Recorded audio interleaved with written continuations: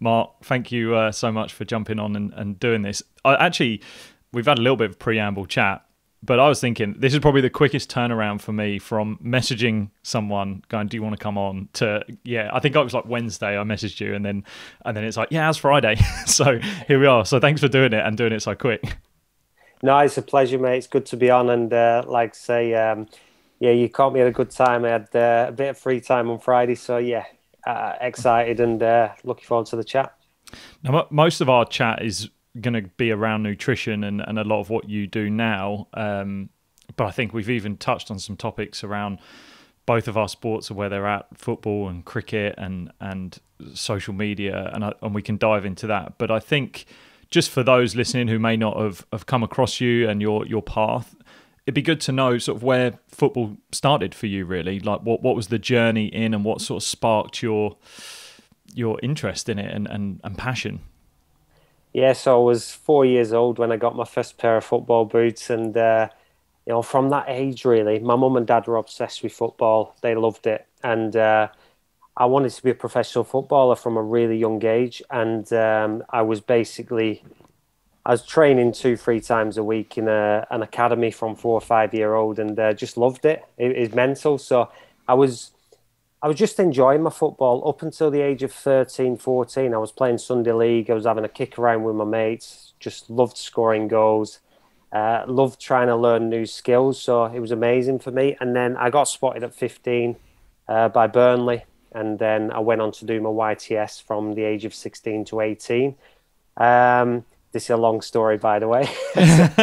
I'll try and keep it as short as possible. But um, yeah, from 16 to 18, played some really good football. Um, played with some good footballers in my um, in my youth team. We had Jay Rodriguez, who has had a great career. Uh, Chris McCann, Kyle Lafferty. So we had some really good players, to name a few.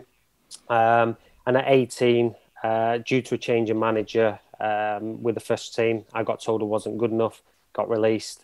And um, yeah, I just thought, where do I go from here? I've got to get myself back out there.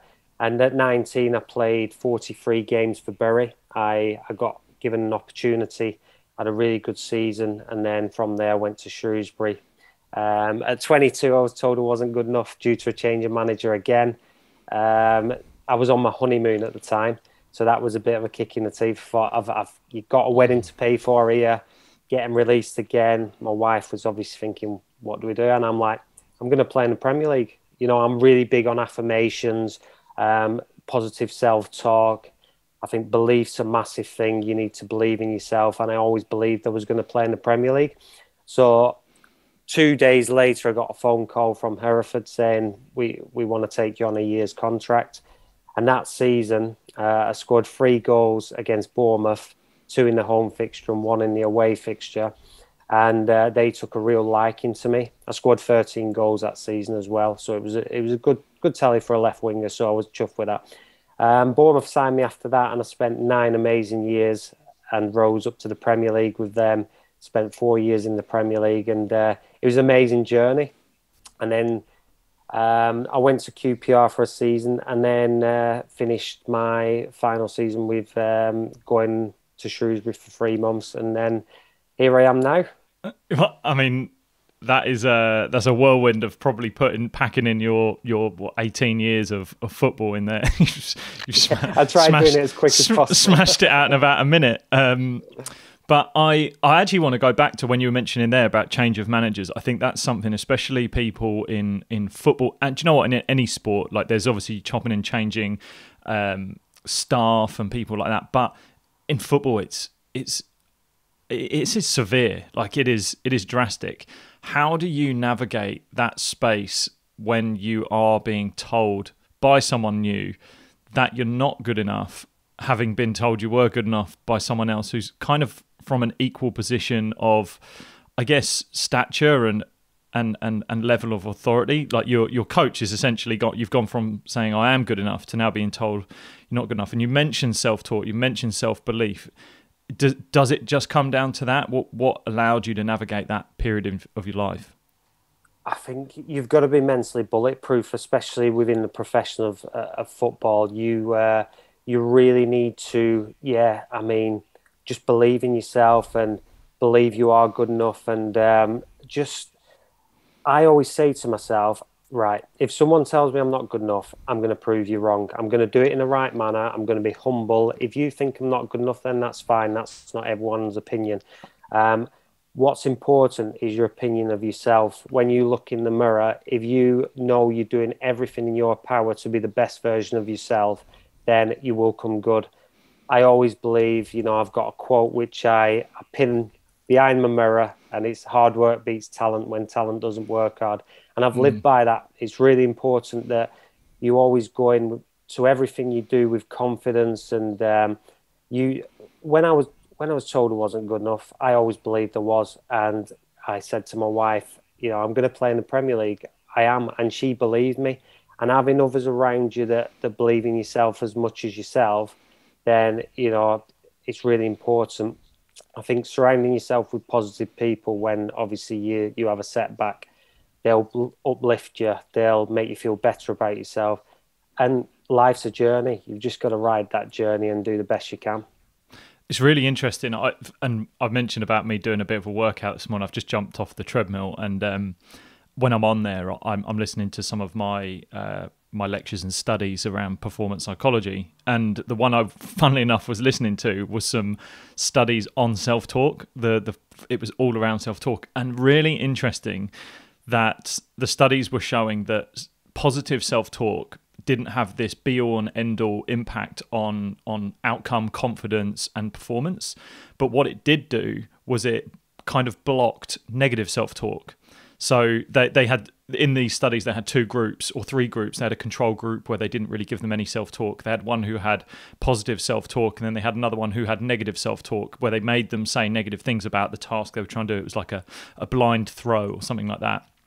And they then measured the confidence and the performance and they found that the the people who had no talk whatsoever and the people who had positive self talk they cut they were, stayed fairly the same. There wasn't a massive change, but the ones who had negative self talk, their performance and confidence plummeted, and it was so drastically different. So I think it's so interesting in how you think about it. Like, yeah, maybe the self talk, the positive self talk, didn't actually have too much of an impact on it, but what it did do is it blocked out all the negative self talk that potentially could come along in that moment, and I I I've put myself in so many different scenarios there where I've thought, wow, actually, there were moments where there was so much negative negativity wanting to come through, but using positive self talk blocked it and and allowed that to just get out the way. And definitely what you've said there about other people, like other people saying positive things, keeping you on that right track is is so important. Yeah, it's really important, mate. I, I couldn't have said that better myself for sure. Uh, but never get too high with the highs, too low with the lows is, is what I always live by. I mean, uh, you're going to have to deal with setbacks. You know, life's full of hurdles. We've just got to ride them. We've got to, you know, be the best we can be. And yeah, that's really interesting, actually. I mean, whenever I go out onto football field, if you have a bad touch, you've got to focus, right, my next touch, my next pass, you know, my next cross, my next shot. Let's do something productive for the team. Let's make sure it's good, it's on point because you got 50, 60,000 fans watching you. The last thing you want to do is, you know, not believe in yourself, not show that confidence to, you know, grow into the game and, and do everything you can for your team. And the minimum requirement is that you work hard. I mean, mm. you know, if if you're having a bad game, if you're not you know, performing to the best of your ability, as long as you can go in at half time, full time, and say, you know, I give everything for the cause there. That's you know, that's all I can do. You can go to bed at night and you can sleep and uh, you know, you can rest easy. But if you look back and you look back with regret or, you know, I didn't quite give my all then, you know, it's it's really difficult to um, you know, have a good night's sleep after that in my opinion. Yeah, look, football's so fast paced. Is it really easy to dwell on moments that have gone wrong? So I I go and see the odd sort of non non league game at the moment, and got a couple of clubs that I work with locally, and I have seen. And, and again, it's probably the difference between a Premier League footballer and, and, and that level is that when something bad happens, they, they could mistime a header, mistime a challenge, get get beaten, or something something negative happens in the game very quick because obviously the next moment's going to come along. But uh, you tend to see them dwell on it a little bit or they get frustrated. They tend to then come into the next challenge maybe a little bit too hard and they actually end up getting their yellow card and then they're on the back foot for the game. And is it is that a real important part of being able to sort of park little moments to to to to move on i guess is what i'm trying to say. Is just get get through that little negative burst and then just park it and move on. Is that a, big difference between lower leagues and, and higher leagues? I mean there's going to be so many different other aspects but is that is that an element is what i'm saying? I think it's massive i think it's massive. Um, the mind is so powerful. Um, obviously, you've got to be physically in really good shape. I mean, the top level athletes are physically, mentally, emotionally, they're all in the right place. And uh, yeah, I think uh, you look at your top top players, especially midfield players, De Bruyne. Whether he makes a mistake or not, he's getting on the ball. He's showing for his teammates. I think I've found that obviously, say uh, you're a defender and you, you make a mistake, or you're a striker and you miss a chance. I think the best always put themselves out there. They they always want the ball. They never hide behind a man because it's the easiest thing to do. Oh, I'm not going to make an angle to receive the ball again if, you know, I've made a mistake, that kind of thing. So, yeah, I mean, the mind's really powerful and um, not having negative thoughts throughout the game. Like you say, the, the game is so quick, so fast paced. And if you're not on it at all times, it can eat you up, especially at that top level. So, um, like I say, physically you've got to be on it. You've again, it goes back to your mind. I always used to say, I'd come up against the fullback, and I'd be right. Right, I'm fitter. I'm fitter than you. I'm stronger than you. And how can I get the better out of you? So you've done all your your analysing previous to the game. You've you know his strengths, you know his weaknesses. Use your strengths to beat him at his game um, mm. and find out his weaknesses. So I used to always do that, and I used to sort of play mind games. I mean, you know, there's times I've got a, a, a picture I really like. I mean, uh, I was winding uh, Middlesbrough's fullback up at the time, Fabio, and uh, he came up, giving me a load of jip, trying to kick me. So I just held the, the four fingers up because we were 4 0 up. so it's like, obviously, you've got to be humble in victory, humble in defeat, but uh, you've got to show that real arrogance and confidence that, that you are good and you deserve to be there. Yeah, I think that's a fine line, isn't it, between that arrogance and confidence, like having that self confidence in yourself and and not doing it to, I guess, diminish there's competitive natures that you get on the field and you don't you obviously never want to take it off the field and I've spoken to many people on the podcast about the person and the persona and when you cross that line you're you, you can be a I know that I was a completely different animal when I'm crossing the line like I change but then when I'm off like I'm either apologetic in what's happened on the field, and I, am I'm, I'm like, look, there's no hard feelings. It's nothing against you. I'm trying to do the best for my team to get us to win, and that's because that's the the goal of why I'm here. Like that's the challenge. I'm really interested. You mentioned about fifty thousand to sixty thousand people, and, and I've not played in front of that amount of people before. Um, it must be super tough to not get drawn into being very self-conscious about the way you do things in moments because you've got a lot of eyes on you. You've got a lot. So how do you drown out that and, and kind of keep your ego in check when when there are so many eyes on you? Yeah, I mean, um, I've got a really great family around me, and I knew no matter how I, I played on a Saturday, on a Tuesday, whenever it was, I could go away and I could block football out of my life. I, I concentrated on my family life. I think it was really, you know, refreshing that I could just go home and whether I played well, whether I played, you know, not so well.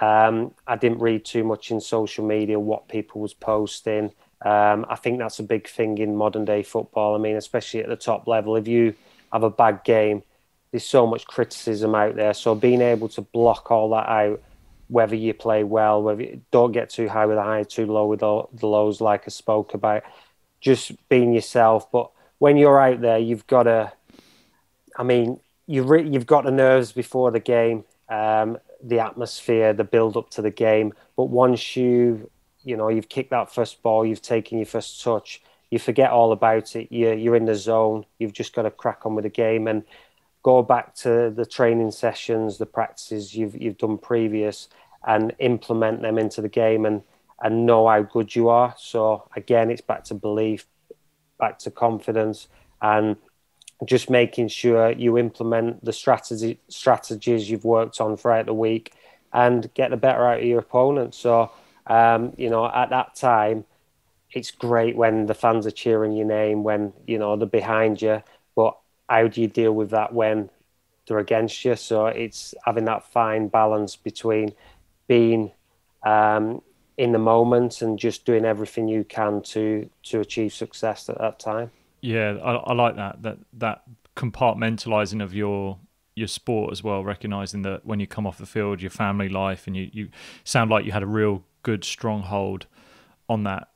Social media, I think we're both similar age, and I I count myself as a bit of a blessing that I mean I started in 2010 and really, I mean, Facebook was three was three years old then. So, yeah. um, Twitter again finding its feet, Instagram don't even know if it was around, but I just kind of count myself pretty lucky that with all of my I guess even my story and my my upbringing and, and I didn't have games where I would come off and and see massive negativity around it. I mean, the, the sport is not as publicly seen as something like football, and I, I mean, people who are watching the news around football at the moment, it, both of our sports are in not great places in the, the public eye, and it is down to a lot of things that happen on social media. And I, I think the education around young players now has got to be so strong in making sure they just know good good habits for not only making their public and their brand persona look good, but just keeping themselves feeling good, like making sure that they're just being good people. And I hope that the clubs and the whether it's the PFA or even the PCA in, in cricket really make a move on just education, like early doors. I, I think even when we we did some some education stuff when Twitter was kicking off. Like they really scared us. Like they actually genuinely scared us. We had we had people coming in who had like trawled through posts of ours and they would scare you into creating these fake news articles and you were like my god i actually don't want that to ever happen so now when i go out i'm going to make sure that i'm aware and and you got to be hyper aware now like there's just eyes and cameras on you and then times that by 20,000 if you're a, a Premier League footballer, it's it's just hard to navigate. I, I almost don't even know the answer sometimes. Yeah, no, I mean, um, I'm exactly the same. I, I started and um, there was none of this on social media, and social media is such a powerful tool. And if if you're using it to add value and you know help others and you know create create your own platform to sort of encourage others to be the best version of themselves, I think it's really powerful. But when obviously there's negative comments on there and um, you know you're putting silly videos on just for a laugh it can come back to bite you um, mm. like you say the pfa do speak a lot about it you know you need to be careful um, of what you're posting at all times and it's really important because everyone's looking for a story and you don't want to be that story and you don't want to come in the press to, to be a bad person because life's full of good people and all these good people, you know, people who have got a bad name maybe in the press, they're actually really good people. They just need to be educated a lot better. Yeah, I I love your positivity coming out of it. I think football needs more of it. That's for sure. Um, when you uh, when you finished the game, what was that period like for you? That that kind of coming out. Oh, you played a lot of Bournemouth, and then you finished at QPR. Um, what what was that period like for you? Because it is I actually don't know if you've seen this thing at Crystal Palace that they recently announced. Crystal Palace, I, I don't know whether they're the first to do it, and I, I, I really hope a lot of clubs follow suit. Is that they created a, a academy or a um, basically a a program for when players finish the game, or even if they're in an academy, they're going to educate them and nurture them back into normal life. And they, it's like for 20 people who are, or maybe even more, that are in and around the game and they're not just thrown out of the sport and they're just like lost to the game because there's you you've had your career like you've gone all the way to the the far end you've had a long sustained career but there's obviously I mean, thousands that don't even get to that stage, hoping on a on a whim that they'll get there, um, and that's probably another story in itself. But what was the navigation of of the end of career like for you? No, that's absolutely incredible what Crystal Palace are doing. I think there should be a lot more of that. Um, yeah, I've, I've got a lot of friends still in the game, funnily enough, that are really scared to come out because they don't know what's after football, which is really sad. I was really fortunate that um, when I was at QPR, I always loved food, but eight, nine years ago, I couldn't boil an egg. Um, and my missus did a lot of the cooking. But when we had our second child, it, it was my way of trying to help out because we, you know, we were six, seven hours away from family in Bournemouth and our family was up north. So um, that was my way of helping out. And then I just, when I was 25, 26, when we um, got promoted to the uh, championship with Bournemouth, I thought, how can I gain that extra edge? How can I improve my performance? So I started to study nutrition. And the more I implemented it into my game, the more like I felt better physically. I was running 12 to 14k a game.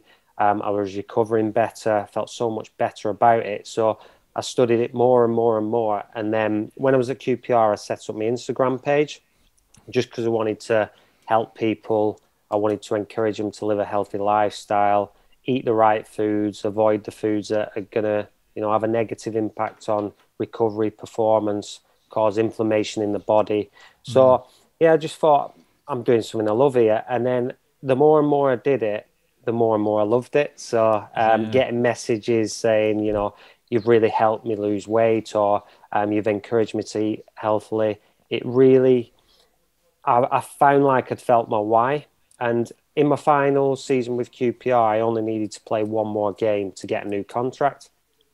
And then COVID hit, and they said, "Look, we can't afford to play you for this one game because um, we can't afford to keep you on the same wages you're on next year." So I was like, "All right, okay."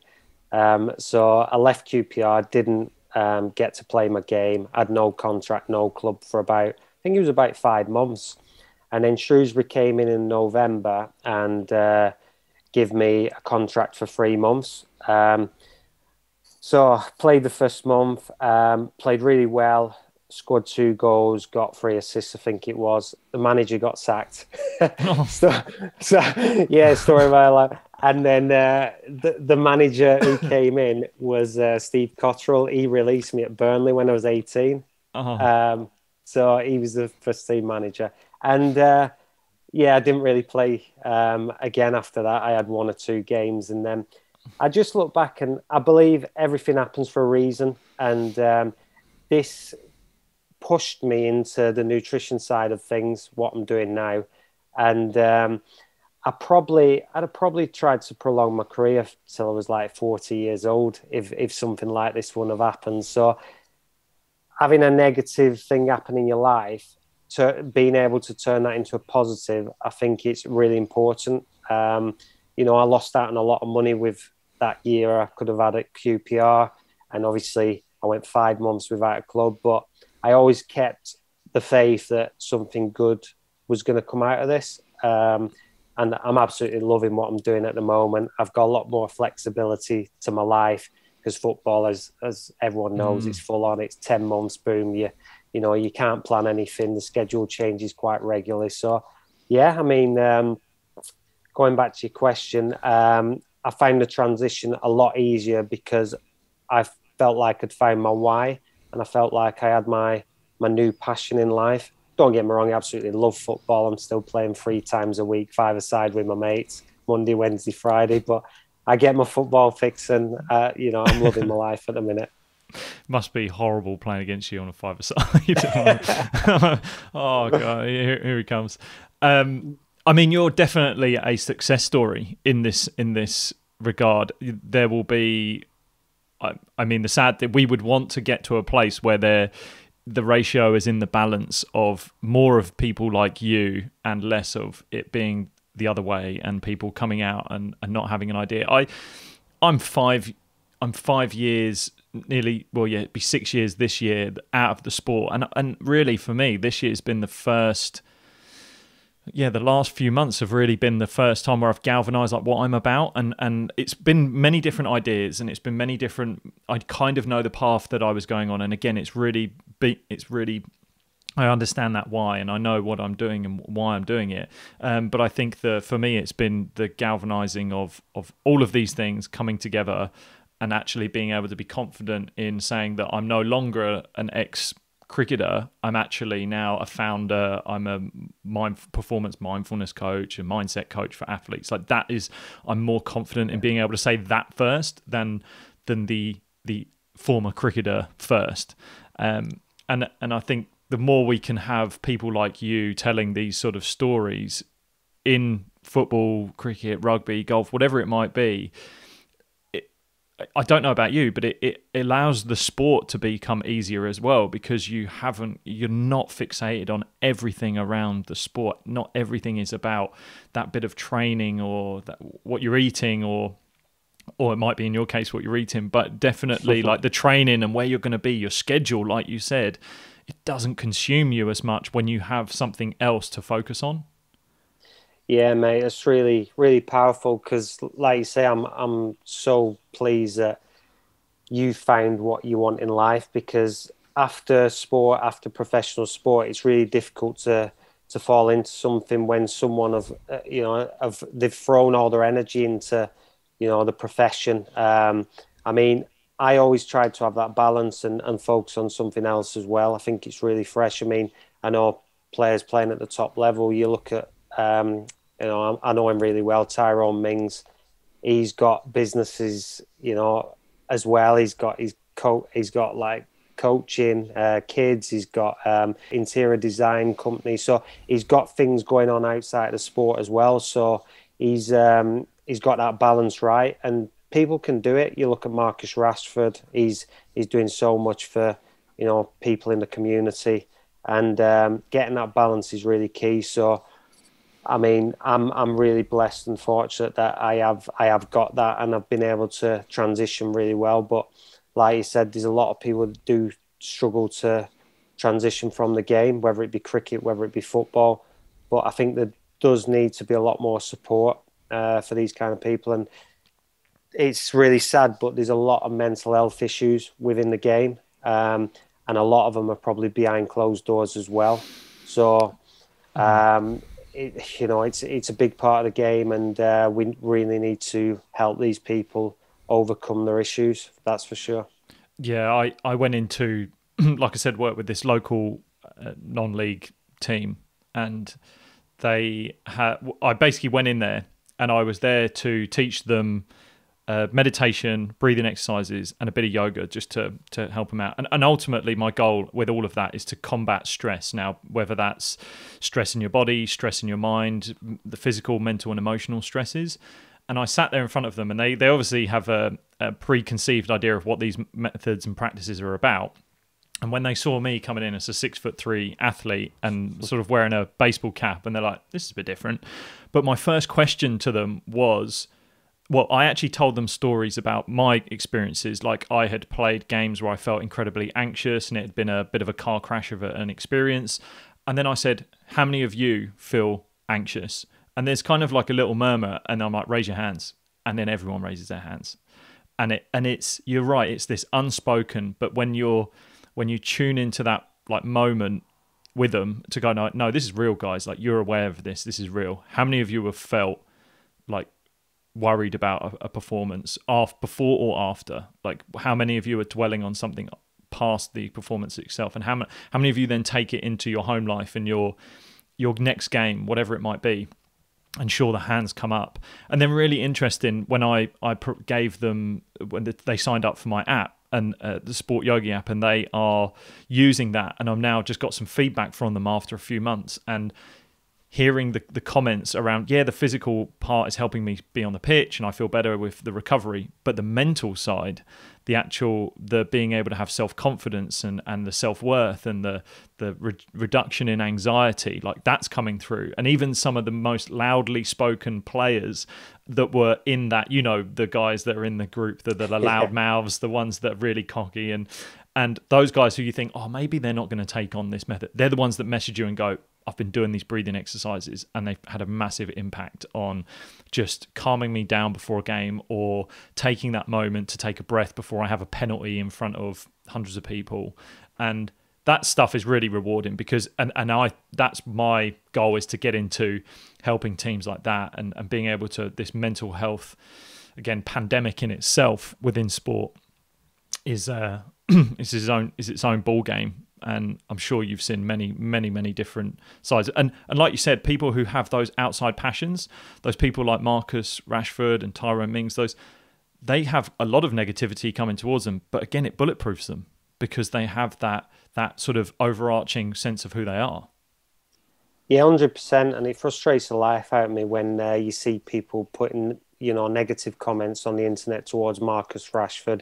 If he's had a bad game, oh well, you should be focusing on your football as opposed to doing what you're doing outside of it, which is completely wrong because it's not going to affect his football. He's just mm. trying to make the world a better place, which is is really key.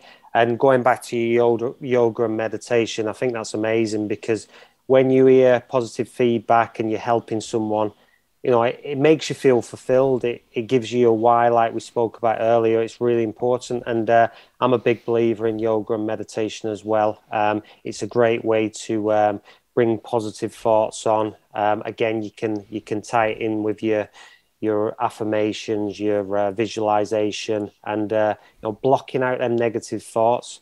Um, you know, it brings yourself back down to earth and you, you feel so much better about your day yourself and it it's a great way to either start the day, end the day, or if you feel a little bit stressed from work, or take yourself away from your computer for 15, 20 minutes. That's all you need. It's not a long time. I mean, a lot of people say they haven't got the time, I'm really busy, but you know, you can do a 15, 20 minute HIIT session, you can do your yoga, your meditation, um, you know, cold therapy, get yourself in a cold mm. bath, that'll waken you up. And, mm. uh, you know, just doing, you know, improving the small percentages as i always speak about in your daily life by just you know taking 10 15 minutes to you know make time for yourself. A lot of people because they're so busy we don't make time for ourselves and uh, we need to you know sit back relax and and um, you know do something for ourselves as opposed to running around after everyone else whether it be your boss whether it be kids whether it be know, um, I, I say to my wife all the time, you know, take take that time for yourself because you're busy trying to help everyone else. You need to look after yourself, your your health, your mental health, your physical health, whatever it may be. I think it's really important um, that, that, you do that on a daily basis. Mm-hmm. Let's let's get on to food. That's let's let's let's talk about food. So you said eight years ago you couldn't boil an egg. What was your diet like as a young young pro? It wasn't horrendous, but it was um, it was made up of a lot of white pasta, white rice, bread, mm-hmm. all these types of things that aren't really nutritious. I mean, to this day now, I always say avoid the whites and, and go for the whole grains and, and the browns and that kind of thing because they're just stripped of the nutrients. Um, so yeah, I mean, it wasn't bad, but again, I'd reward myself after a game if I played well with a Chinese or an Indian and it was just adding to that build up of inflammation after a 90 minute game. And then I'd be wondering why they're not recovered properly for the Tuesday night game. So yeah, it was just those small percentages that I need to improve, you know, whether it be including more fruits in my diet, more vegetables, more lean sources of protein, um, you know, not having your as much red meat, that kind of thing. So um, again, it wasn't bad, but it could have been a lot better. You, would you have had? I mean, you would have had a lot of food put forward to you in in professional scenarios. Like we we were fed probably two to three times a day. Um, as, as in a pro setup, and I, and I think football has, has got way more than that. Think you have a lot of resource. So was it? Did you have a lot on on kind of given to you without necessarily knowing what you were doing? I mean, in my early days, because of what financially, when I was playing in League Two, League One, conference, um, we didn't get lunches, breakfast, mm. that kind of thing. We'd get the odd lunch here and there, maybe on a Friday before a game, but it was up to us. And then rather than preparing, rather than, you know, doing your overnight oats, rather than, um, you know, meal prepping in the evening, he'd be like, "Yeah, let's pop to the garage on the way home and grab, you know, a sandwich, a pasta, that kind of thing," without really putting too much thought into it. Because when I was younger, there was nothing out there. Like I say, there's no social media. There's not enough on the internet where you can really educate yourself. Um, we were never told what to eat, so you had to, you know, take it upon yourself to to do the right thing. And we were always told pasta, rice, bread, you know, get it, get it down. You get the carbs in you, which it's it's the wrong way to do it. Um, and like I said, when I started to educate myself a lot more, uh, got that extra string to my bow, as uh, as they say. I think you know, improving the small percentages on a daily basis, whether it be having my ginger shot in the morning, which I religiously have done for mm. eight years, just for the immune system eating loads of fruit, which have loads of antioxidants in, which help the body recover more efficiently, and you know having the right amount of protein and carbs and healthy fats as well. So it's getting that balance. You know, we don't want to go on all these fad diets that you know are short term fixes and aren't going to be beneficial to your health long term. We want to have that balance. We want to feel good. We want to, you know, obviously you want to look good from the outside but it's really important that you feel good from the inside as well. And uh, yeah, over the years, I've learned to, you know, know what my body needs, and um, it, it, was able to to take my body and, and my performances to the next level. So when let's talk about that. So when you sort of moved into again educating yourself. Mm. Uh, there, there's a difference between educating yourself and then actually putting it into practice, obviously. So, when you put it into practice, what were the sort of things that you started to see, feel, um, yeah, in your body, and I guess even in your sort of mental cognition. Yeah, I mean, I noticed from the ages of especially 19 to 24 that I used to get a lot of brain fog. I'd, I'd, I'd not be able to focus for long periods of time. And I guess that was because I had too much dairy and gluten in my diet. Um, I really cut back on my gluten and dairy. Um, and I don't have much gluten and dairy at all. I have bits just, you know, to keep my microbiome ticking. But the biggest difference was I used to get to around 70 minutes and I used to be blowing out of my you know what. and uh, yeah, really struggling with that for that last 20 minutes. I'd felt great up until then. Um, but when I started to put things into practice from the age of 25, 26 onwards, um, I could go for 90 minutes again. I, I, could look at my opponent in the eye. I, I was like, I'm fitter than you. I can run all day. And it's just by getting the right amount of carbs, you know, minus one game day, game day, not obviously going into the games feeling bloated because, you know, when I was younger, I used to just eat until I was full and I felt a little bit bloated, a little bit lethargic. So, um, yeah, that was the biggest difference. I could go for 90 minutes. Not only that, my recovery rate was so much quicker, and I I wasn't having my takeaways. I was going home. I was having a nutritious meal of either salmon, um, sea bass, your, your chicken, your turkey with vegetables, sweet potato, whole grain rice, whole grain pasta, that kind of thing, and it helped me recover so much quicker. Um, so yeah, I'd say the recovery rate and performance was was so much better and and you hear that in football in a lot of sports, especially um, who was it? I think it was Tuchel who was talking about how quickly Chelsea had had to turn around recently, and you think it must be so easy to come off after 90 minutes, or even if let's say you've gone into extra time and you've you've had 120 minutes of of, of football, you have must you must it must be so easy to want to grab something I don't know delicious in the sense of it being a I don't know fast food or something like that, or something really n- non nutritionally dense and, and in a good way, rather than doing something in that first 24 hours that sets you up for the next three days. I, I, I, I even saw that through the ability to do things like stretching and yoga, like get that done and doing my breathing to reduce the the stress in my my nervous system if i can do that in the first 24 hours if not better the first 12 hours of that recovery it at least makes you mentally feel like you're starting to do the right thing rather than come back from a game grab something really easy maybe really high in saturated fat or or really sugary and be like, oh, I feel good. Meant that's had a good hit because I feel like I've deserved this. But then actually, it's trying to get it back the the whole treadmill back up and running again to to get going for the next few days. Uh, I don't know where you kind of lie with that.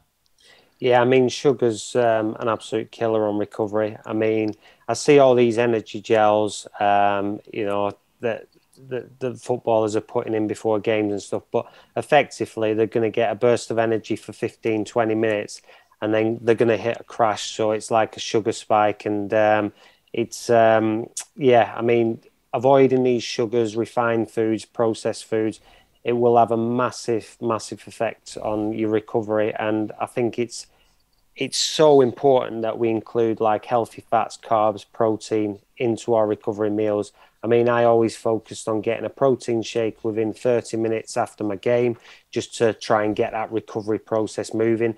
And then mm. within two hours, getting, you know, a good nutritious meal with plenty of veg. You know, I loved fish after a game because obviously omega 3s, omega 6s, great for, for inflammation in the body.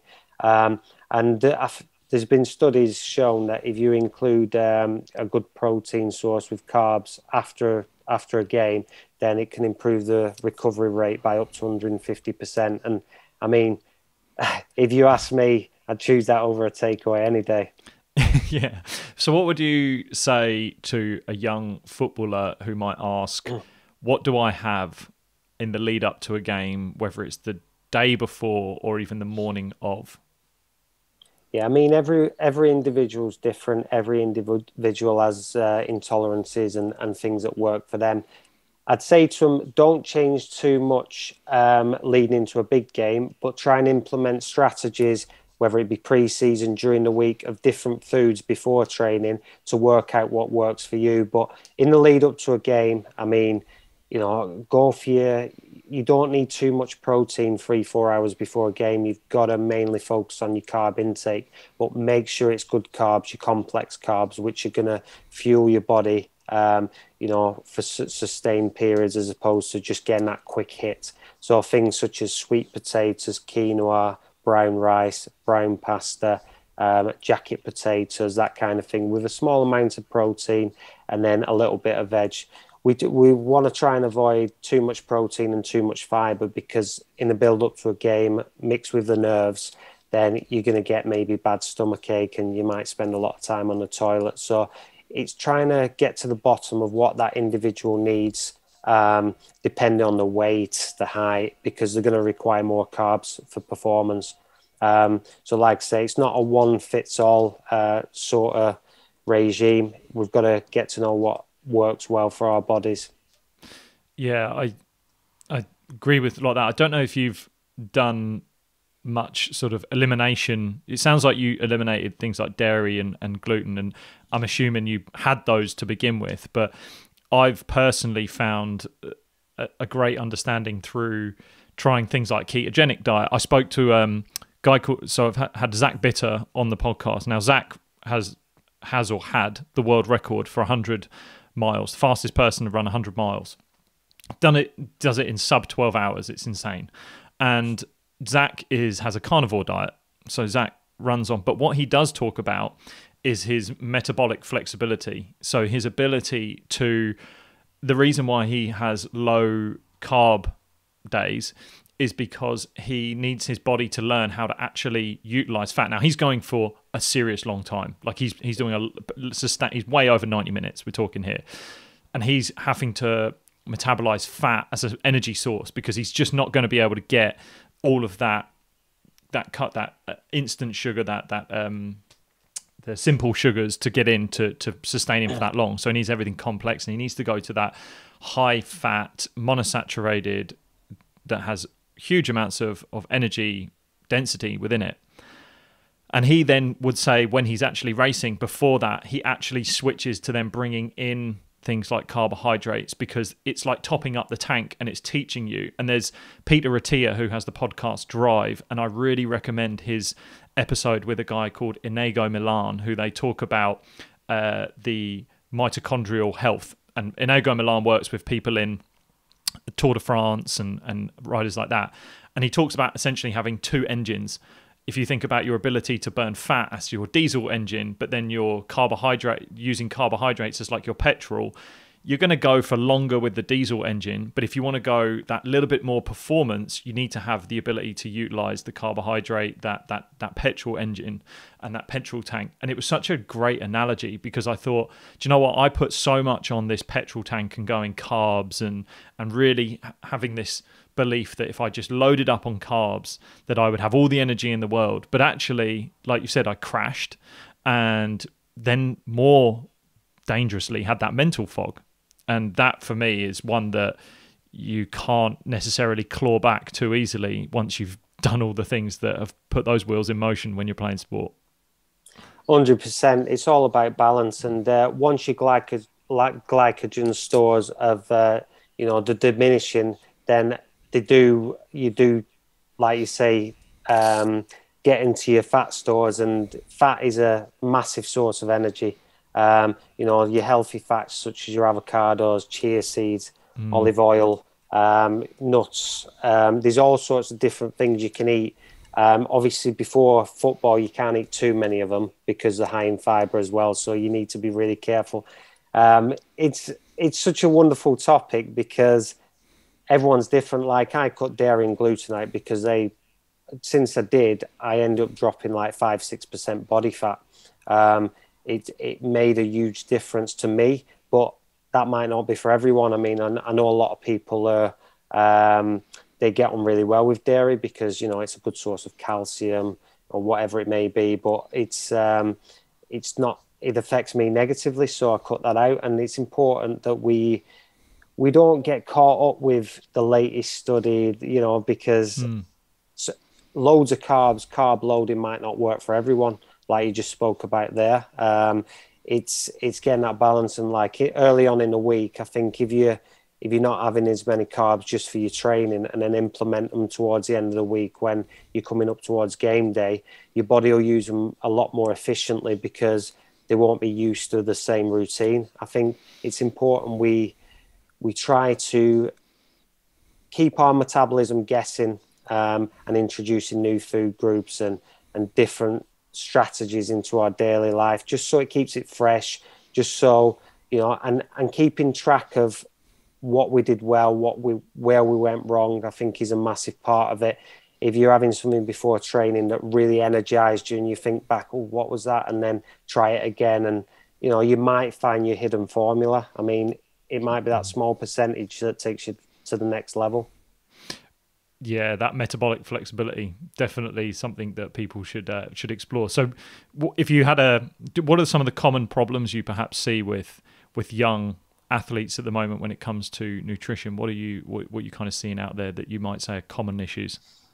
Um, too many uh, quick and easy meals. Really, I'm just going to go to the um, to buy you know packet of crisps, processed foods, biscuits just to they don't fill you at the end of the day. It's it's important. Healthy fats, uh, you know, uh, they're really filling. Protein really filling. So I mean, it's just that preparation to to spend an extra 10, 15 minutes in the kitchen preparing your meals for the next day. I mean, it's really important. But yeah, I think quick fixes are the ones, and um, you know, reaching for the snack cupboard too much and uh, having processed foods and it, it drives you mad sometimes because that can be the difference between you know you recovering and not having that buildup of inflammation in your body. Um, but as all of us, we're learning. We're, we're all learning. We, we, don't know everything, and there's new studies coming out every day. Um, we don't know right from wrong sometimes, yeah. but we just try and do the best we can and educate each other. Um, you know, to become the best version of ourselves. And um, if we can sort of bring in the good, more good habits and bad habits, then it'll make a big difference over time. I think there's so many people get caught up in that kind of being being in uh, one type of form of diet and it, like carnivore, vegan, omnivore, what and and and having no gluten, whatever it is, but at the end of the day, if you you're so right, if you can, my, and this is my opinion as well, is that if you genuinely just look at like, okay, is my diet consumed with processed foods and and non non natural foods? Can I improve that by going more towards the natural route in whatever dynamic that might be for you? And I'm sure as hell you're going to see a difference. And I would also, and I'm sure you've seen this, and uh, this will be a question about the difference between going from League Two, League One, Championship to Premier League, is that the the mental ability and consistency that it requires and, and strength that it takes to say no to that food, to say no to that quick and easy thing, and then do the right thing. In in my opinion, ingrains a mental capacity to transfer that into your training, into your your your skills, and that hardens you. That might be the difference between making it at a certain league level to then going even higher. Yeah, I think it, it makes your body more more robust as well. I mean, when you're doing your gym work, mm. you're going to get stronger, you're going to get fitter, you're going to feel better, you're going to be able to lift more weight, you're going to be able to run that extra, you know, one kilometer, two kilometer, whatever it may be. It makes a huge difference, and not only that, I always, especially when I, um, you know, learn a lot more about the topic, I didn't just fuel myself for that one performance. I looked for the longevity. There's a lot of people that just fuel themselves for that one performance and just want the sugar. You know, I want to get through this game. I want to be the best I can be, but it's going to have a detrimental effect on your health as well. I mean, sugar's one of the biggest causes of cancer, and mm. you know, there's all sorts of it's not spoken about enough actually. There's a lot of products out there that are marketed to be healthy. I mean you look at your low fat yogurts you take the protein and the fat out and replace it with a load of sugar. So it's it really needs to be looked at and people need to be educated on how to read food labels how to you know do the basics really well and the world will be a lot healthier happier place. And um, I mean, a lot of the me- mental health issues as well. Sugar's a major factor in that. You know, for you know fluctuation of it causes your cells to, to play havoc and all that kind of thing. So it's it's really important that we we can all learn from each other and not just fuel for that one performance. Um, make sure you're fueling for recovery and your mm. overall health and well-being as well. Yeah, that's a great that's a great point. Seeing it as a more holistic feature f- for your for your performance and and yes, your well being as well. I don't know if you've come across Tim Spector and his book Spoonfed. Tim Spector started a company called um, or he's recently well it's not recent. Zoe is the company, and they're fascinating. But he wrote a book called Spoonfed, and it debunks a lot of those myths, like how to read food, like what's going on in the the consumer market, and what these corporations are trying to say to you, and actually what the food is all about. So, if anyone is keen to find out how to navigate the open world of food, like his book Spoonfed is is unbelievable. He actually ended up getting um, called in by the government to head up the COVID response team for for health, and he um, he's fascinating to to listen to. The thing I, I think as well when going through your Instagram page at, at the at the foodie footballer, I I noticed the food looks delicious as well, and I think that sometimes can be something we lose sight of in in sport is that we see few uh, food, and I was down this food as fuel. I definitely fell into this trap where it was give me that that meat salad, whatever. I don't care what it looks like. Get it in me. It's just got to do its purpose. Whereas I think a lot of the stuff that you're doing is there. It it helps you enjoy the food that you're you're eating, and and I and have that I guess satisfaction from from eating the food. Yeah, definitely. I like to present my food really nicely and uh, use as much color as possible. And you know, your your vegetables don't have to be plain and boring. You there's nothing better than roasted vegetables and you know a little bit of honey, a little bit of you know Italian herbs, garlic, mm. um, bit of chili. So I mean, it tastes absolutely beautiful. It's as good as having a steak sometimes when you have a good good lot of roast vegetables. So um, I mean, just making it look presentable and uh, enjoying what you do as well. I mean, there's that much information out there, especially online, different recipes, different marinades to really jazz your food up and even with baking, I love baking, but we don't need to use all our flours, refined sugars. We can replace our flours with oats. We can replace our sugars with maple syrup, honey, that kind of thing.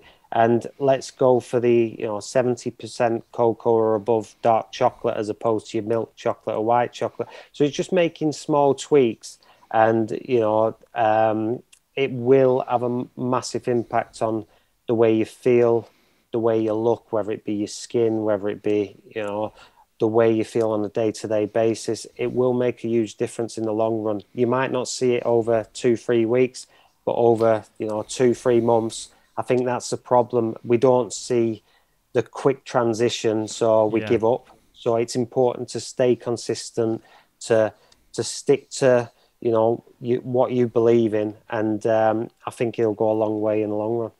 That's such a good point, and actually so true. I had this morning one of my clients message me saying because he had been struggling with energy slumps and things like that, and and I got him, to, and, and, most of the stuff I've been doing around him was his, his mental side of how he works, and, and he's a he's a business owner, he's a CEO, founder, and um, he has these high stress levels. It's a really big business that he works for, and I said to him, "Okay, just do me a food diary. Just, just literally, there's so many apps that you can track what you eat. Just write down everything that you're eating."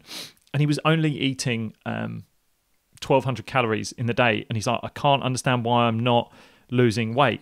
But the calories that he was eating were probably I mean, if we're talking, he was high sugar. Ultimately, it was high sugar. It was a lot of sugar in his tea.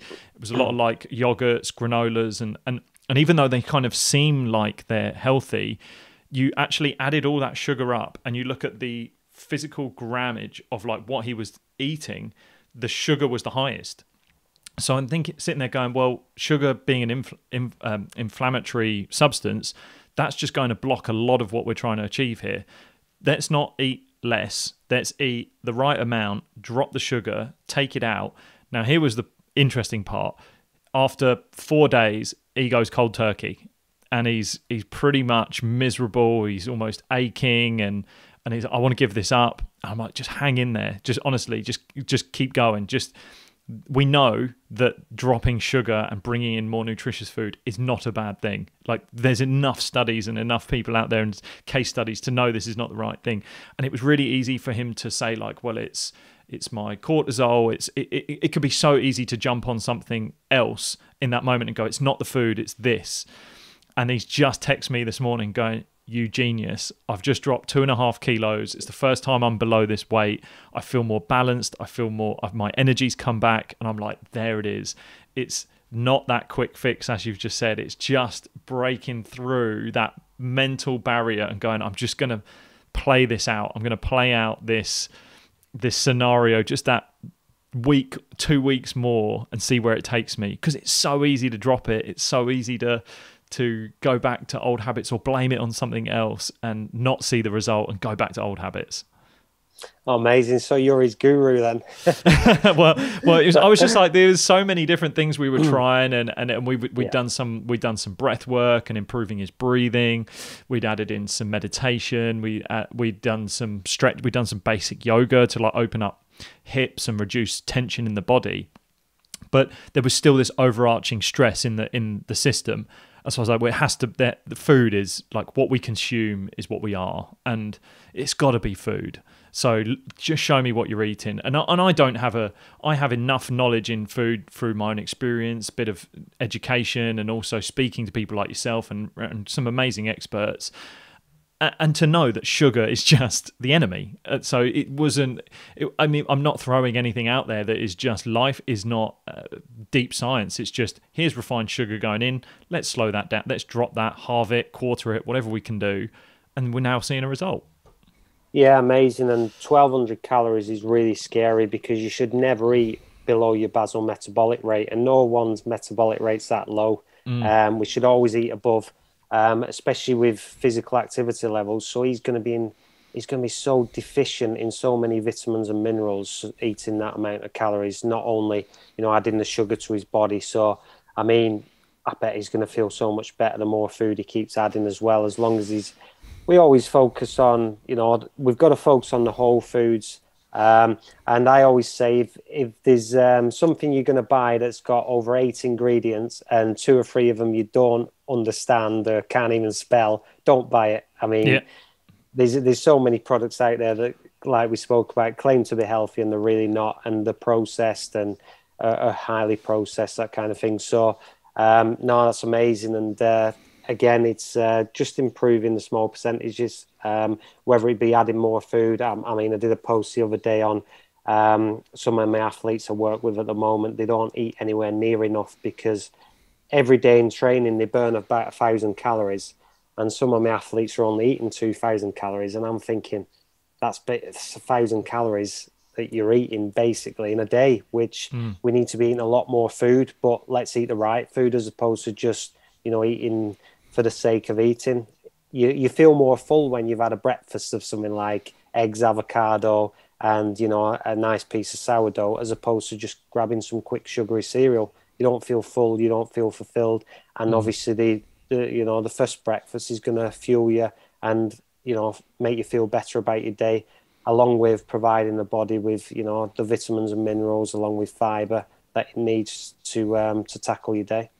I guess it's also not. I guess it's also saying that it's not a case of not having treats as well. Like you can have that. It's it's just zooming out and looking at the overarching s- schedule of what's going in. That that I guess is the the important part. Like it's not about cutting out anything that's excitable. And, and I love I love chocolate. I love biscuits. Like I just but I'm not having them every day. And I'm just and I'm reducing and I'm fortunate that I love really really dark chocolate like because it's great for antioxidants and it's just great for brain cognition and and I'm fortunate in that way. But I don't gorge myself on a bar of it every day. That's it's it's just consistency and yeah that whole overarching schedule being good yeah, it's really important, and like you touched on there, dark chocolate's incredible for the body. Um, great for recovery, great for inflammation in the body. Um, if you're getting a, a, good quality one, obviously mm. seventy percent or above, not too high in sugar.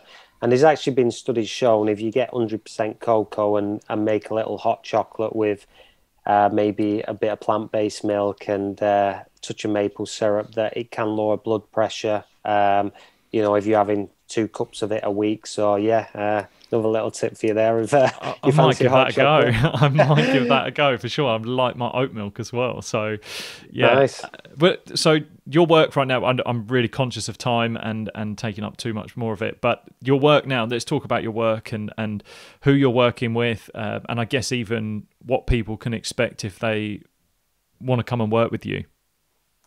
Yeah, so um, I'm a health coach and um, I'm helping people whether they want to gain weight, lose weight, um, improve athletic performance, um, improve lean muscle mass. Whatever their goal is, I want to try and do everything in my power to help them. So I've got an app which um, I provide nutrition um, and fitness plans. And the nutrition plan uh, also includes all the recipes, all the amounts of different foods to help them achieve the goal, along with the uh, the workouts. They'll have videos with them as well, um, and then we can keep in contact on a daily basis. I'll obviously um, be my usual positive self to try and mm. encourage you on a daily basis. Whether it be we haven't spoke about it yet, but hydration is, you know, one of the yeah. most important aspects of you know, being able to help the body absorb nutrients a lot more efficiently. So it's just helping them understand the bodies a little bit better and, um, you know, help them achieve the goal. So yeah, I'm doing that. And then I'm also going into um, to clubs to try and educate the young players, um, you know, help them fuel performance and uh, reach optimum performance, so to speak, and help them with recovery. So, um, yeah, I'm, I'm working with Bournemouth at the moment, uh, so I'm really enjoying that. Um, it's been it's been a, a good challenge, and uh, you know something I'm loving. Are you still living down in Bournemouth? Are you still located there? So no, they wanted me to come down when I relocated up north. So it's a nice five and a half hour journey. Perfect. um, yeah, you. Let, us let, talk about hydration. Like that. That's um, that is something that I am dreadful at. I have to conscious constantly nag myself to get. Uh, I almost have to get electrolytes in. I did. Uh, I did a bit of work on knowing that I, I, I have essentially more salt lost through my sweat. Some I know some people don't you lose loads of salt through the, your sweat. Some people do, and there's different variants, uh, varying levels of that. Um, but yeah, let's talk about the importance of hydration and and any tips that you can give in how to, for athletes especially, to to stay on top of it? Yeah, it's massive. I mean, um, you, you know, when you feel dehydrated, you feel absolutely horrendous. I mean, every morning when I wake up, I make sure I leave my pint glass by the kettle, and every morning I'll have um, either lime or lemon water with um, either sea salt or Himalayan pink salt. Um, because obviously you lose salt in your sleep. So I make sure I down that before I do anything else, uh, a pint of water. And then throughout the day, it's there's so many benefits to it. It helps your immune system, especially with a lime and a lemon. Um, helps your body absorb nutrients a lot more efficiently. Um, can help with nausea. Can help with you know your digestive system. Um, so it'll help you digest food a lot more efficiently throughout the day. So it's a great way to start the day. And um, I always make sure I have at least two to three liters, sometimes three to four if I've like played football in the evening. So um, it's really important. Like I'd encourage people to buy. Do you know one of the bottles you can buy with the amount you've drunk throughout the yeah. day? Keep it with you at all times, and just keep sipping. Um, it's massive for bodily functioning. You know, our bodies are mainly made of water, really, and mm. you know, to, to, for concentration levels, you know, our brain it's massive. It is really important for all bodily functioning. Yeah, uh, I can't I can't echo that enough. Uh, look, last last question. It's a question I commonly ask people: is was if there's a documentary, a book, a person, a quote that you recommend the most, uh, what would it be? Oh, good question. So Ed Mylett's fantastic. He's he's done some great podcasts. Um, he's really positive. He's absolutely brilliant. So I'd encourage you to follow him on Instagram and, and listen to his podcast. I'm reading a book at the moment called Dr. William. He's Dr. William Li. Don't know whether you've heard of him. And it's Eat to Beat Disease. Um, and right. I'd really recommend give it a read. He's absolute. It's um, he speaks about angiogenesis, um, you know, immune system, bodily functioning, and um, basically he is uh, is a doctor that uh, works with blood vessels and um, he, he, did a degree for four years. And for one month of that degree, uh, they only spoke about nutrition for, for a month, um, which is scary. So he twisted it and he tried, it's because he was working with, um, you know, medication and prescribing medications for different, um, you know, clients and, and uh, patients. But then he thought, well, how can we stop these diseases happening? and then he, he focused on the food first approach. And uh, it's really really interesting. And he lists a load of foods that can help with various things uh, reducing the risk of cancers um, improving performance all different types of things. So it's a really really good book. So i'd recommend that Okay, perfect. I'll, I'll we'll get that link in the in the show notes. We'll also put links in the show notes for your Instagram page um, and uh, and your website and everything that that sends people your way for people that want to want to get in touch and whether that's learn more about their own nutrition, put a bit more of a strategy together for their own food goals and, and, and health goals and well-being goals. This this is such a an interesting area that I haven't touched enough on in the podcast, and I'm really thankful for you giving your time and coming on and being able to to do this. So I, I appreciate it, Marc, and and um, I'm, I'm thankful for having you here. No, it's a pleasure. Really enjoyed it, mate. And uh, yeah, no, thanks. Uh, you're doing great things, and I've enjoyed listening to your podcast so far. So no, all good, mate. Thank you so much.